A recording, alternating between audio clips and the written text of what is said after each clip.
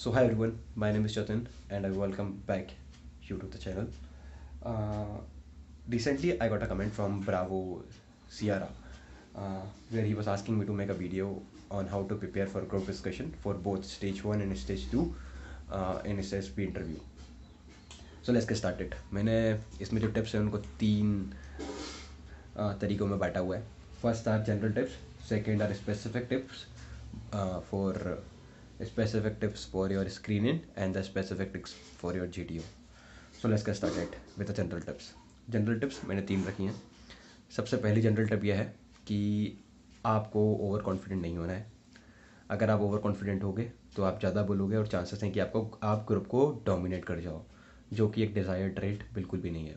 Second you don't have to be under confident अगर under confident होगे तो कुछ भी नहीं बोलोगे।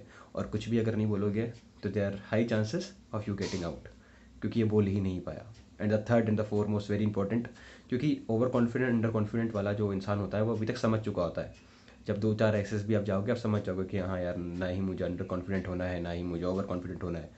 बट जो प्रॉब्लम आती है, वो यहाँ पर आती है तीसरे पे, क्योंकि तीसरा इंसान समझ नहीं पा रहा है। तीसरा जो है, वो ये है you don't have to be desperate for result don't be result oriented क्या होता है इंसान, सोलह सोलह, सत्रह सत्रह अटैम्प्ट दे रहे होते हैं। सो so इवेंचुअली हर किसी के साथ होगा।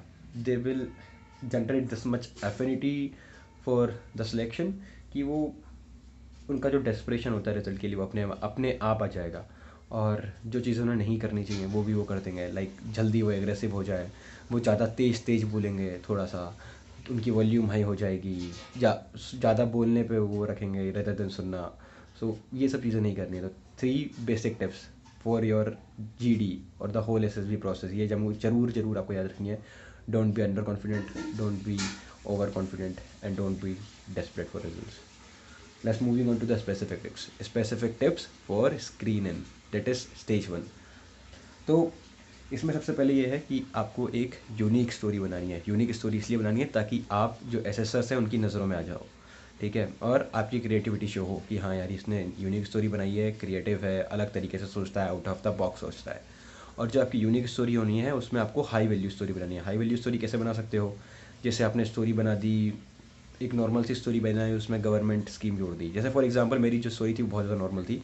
मैंने स्टोरी ये बनाई थी कि वो पोस्ट डांस रिहर्सल स्टूल पर बैठ के आराम कर रही है। एक हमें लड़की थी जो स्टूल पे बैठी हुई थी तो मैंने बोला कि ये पोस्ट डांस रिहर्सल मतलब ये इंटर कॉलेज यूनिवर्सिटी की कंपटीशन है, उसकी तैयारी कर रही है, फिर पोस्ट रिहर्सल कर रही है। तो अब इस स्टोरी को मैंने हाई वैल्यू कैसे बनाया। मैंने इसमें डाल दिया कि उसने अपनी परफॉर्मेंस को यूनिक बनाने के लिए दो चीज़ें यूज़ करी। पहली चीज़ उसने यूज़ क्या रही उसने इंडिया के जो सेवन क्लासिकल डांस फॉर्म है, उन सबका ग्लिम्स डाला अपने डांस परफॉर्मेंस में। तो उसमें एक थोड़ा सा ये इफ़ेक्ट आया कि वेल रेड है ये इंसान। तो उसने थोड़ा सा मेरी जो स्टोरी को हाई वैल्यू दी। सेकंड मैंने ये डाला कि उसको अपनी स्टोरी को यूनिक बनाने के लिए उसने थीम बेस्ड डांस किया, जिसमें उसने anxiety related issues in youth को यूज़ करा। क्योंकि एज वो यूनिवर्सिटी था तो वहाँ पर anxiety related issues in youth को आप ला सकते थे। तो इसने थोड़ी सी स्टोरी की मेरी वैल्यू हल्की सी बढ़ाई। मैं ये नहीं कहूँगा कि बहुत ज़्यादा हाई वैल्यू स्टोरी थी है बट हाँ इसने जो एकदम नॉर्मल स्टोरी थी, बहुत ज़्यादा बेसिक स्टोरी थी, उसको थोड़ा सा अलग ला खड़ा कर दिया। वहीं पर जैसे आप और क्या कर सकते हैं, जैसे आप स्टोरी बना सकते हैं जीनोम एडिटिंग की। तो जीनोम एडिटिंग की आप स्टोरी बना दी। उसमें आपने क्रिस्पर नाइनटीन लेके आ गए, या फिर बायोटेक्नोलॉजी के ऊपर कुछ बनाया, या फिर गवर्नमेंट स्कीम्स कुछ लेके आ गए। जैसे फिर अब क्या करना है? एक गवर्नमेंट स्कीम वाला भी मैं पॉइंट अभी एक आगे लेके आने वाला हूँ। और एक बहुत इंपॉर्टेंट टेक्निक है spell technique which I teach you by the end of this video जो आपको बहुत ज़्यादा काम करेगी to get points to good points in your G D तो सेकेंड आपको क्या करना है? आपने अपनी स्टोरी नरेट कर दी, काफ़ी अच्छे तरीके से आपने अपनी स्टोरी नरेट करी, आराम से काम ली, बहुत काम होकर करना है। ये अगर आप जो थर्ड मैंने टिप दी थी जनरल टिप कि कंट्रोल डिस्प्रेशन अगर उसको कंट्रोल करोगे तो अपने आप काम हो जाओगे। Be like Dhoni so now अब आपकी स्टोरी नरेट हो चुकी है। Now what will be your task is to choose one और टू स्टोरी गुड स्टोरी और ग्रुप से आपको ये कहना है कि I gentleman I think that this story by chest number sixteen और fourteen whatever are really nice and we should take them forward by adding some points in it आपको कभी भी ग्रुप को पीछे नहीं लेके आना, कभी भी ग्रुप की ग्रोथ में हिंडर नहीं करना। है यू हैव टू टेक और मूव द ग्रुप फॉरवर्ड ये आपका एक सोल गोल होना चाहिए उस समय. सो so, कोई भी आपने जैसे मैंने दो बंदों का आपने चूज़ किया इनकी स्टोरी आपने चूज़ करी हाई वैल्यू अच्छी स्टोरीज इनकी तो ये बताएगा कि you are a good listener second it will give you the validation of chest number fourteen and sixteen who जिसका भी आपने स्टोरी पिक करी हो.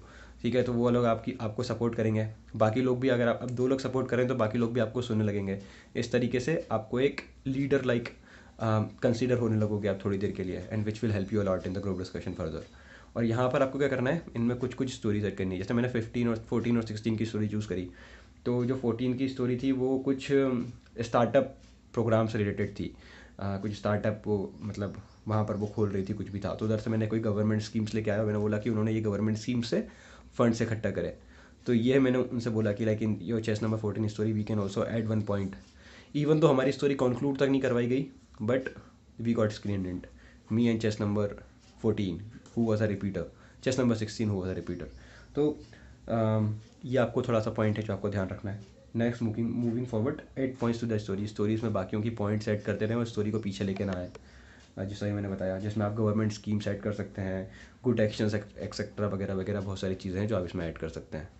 इसके बाद आगे बढ़ते हैं। Do not speak too much तीन से चार बोल, तीन से चार बार बोलना in a G D is more than enough for your stage one stage one के लिए तीन से चार बार बोलिए, उससे ज़्यादा नहीं बोलना है। अगर आपको लगता है कि you have spoken enough be silent just give validation like I agree with chest number this I agree with chest number this has made a very good point we should add this in a story बस आपको ये करना है, इसके बाद आपको कुछ नहीं बोलना है। बी क्वाइट बिकॉज़ जितना ज़्यादा आप बोलोगे, क्योंकि आप स्टोरी का नरेशन ऑलरेडी अच्छा कर चुके हो and seventy eighty percent chances are there that you are already selected so आप ग्रुप डिस्कशन में ब्लंडर करके बाहर नहीं होना चाहिए आपको। तो मैं क्योंकि अक्सर यही करता था अभी तक मेरे जो चार अटैम्प्ट थे। मैं नरेशन स्टोरी मेरी बहुत अच्छी रहती थी but I used to do a blunder in group discussion उसके बाद आगे बढ़ते हैं। Move the discussion forward and not to handle it so these are your specific specific tips related to screen in अब आगे बढ़ते हैं specific tips related to G T और ग्रुप डिस्कशन यहाँ पर आपको क्या करना है? यहाँ पर सबसे ज़्यादा जो इंपॉर्टेंट पार्ट है वो ये होगा you have to have a good knowledge about any topic अगर आपके पास नॉलेज अच्छी होगी तो आप अच्छे ज़्यादा पॉइंट लेके आ सकोगे। बट अगर आप आपके पास नॉलेज ही नहीं है तो वट यू विल डू आप एक टेक्निक यूज़ करोगे।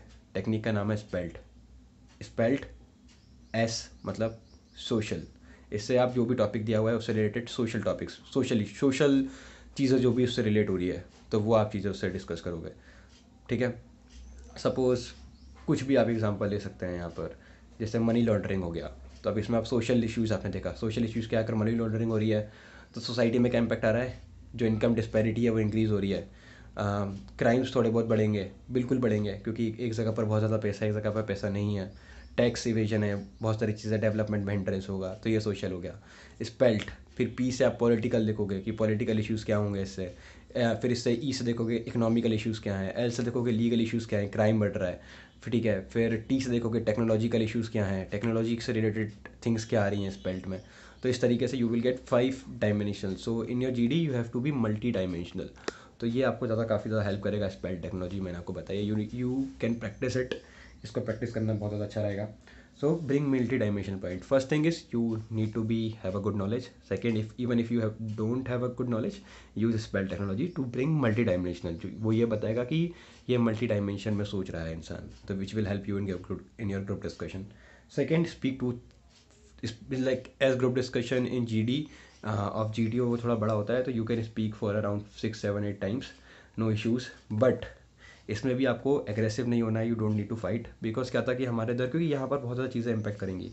We were having guys who are are definite recommend material but उन्होंने यहाँ पर बंडर करा था. They started fighting a kind of fighting they become very aggressive because of the desperation of result the third point the third general point which is very very crucial I must say उसके बाद do not get aggressive speak very politely to your fellow mates to your gentlemen be very polite to them and सब the third thing is support others point ऐसा नहीं है कि बस आपको अपने अपने पॉइंट रखने हैं।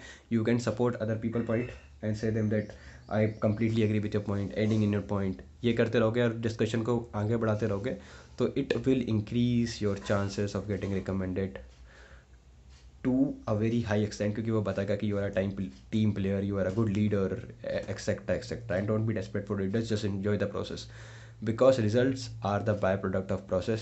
So if you enjoy the process you will get the results so that's it in this video if you have any doubt uh, you can ask me in the comment section and if you want me to make uh, such videos in any other topic you can write it down as write that down as well i true I try to make this video as shoot short as possible मैंने कोशिश करी है कि इसको मैं दस minute के अंदर ही ख़त्म कर दूँ और जितनी ज़्यादा जानकारी उतनी ज़्यादा जानकारी दे पाऊँ अगर मैं कुछ जानकारी मिस करता हूँ so please pardon me for that मिलते अगली वीडियो के साथ till then bye take see you soon